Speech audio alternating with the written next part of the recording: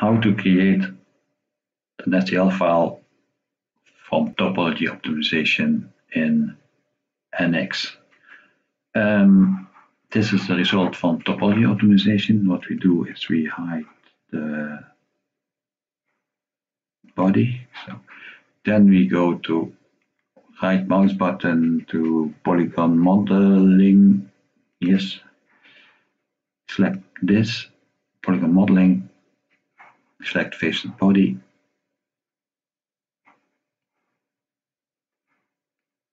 There are three because I okay we deselected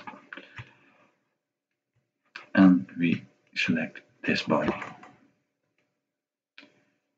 Okay, finish. You have a convergent body. You go to File, Export, STL file. Select object. You can change your dimensions. Okay this is model 20 so there should be an STL file produced